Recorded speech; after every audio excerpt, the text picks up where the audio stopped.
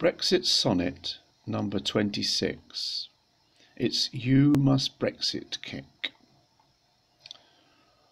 What will be done at Brexit's final tack, as doors and ears and eyes do close this shut? Why have we set our clock on backward track, to push our crippled cart through backwards rut?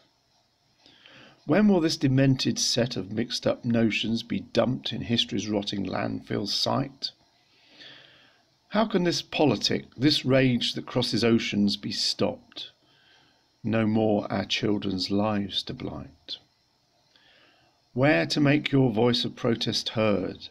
Your choice, there's more than just a page to turn.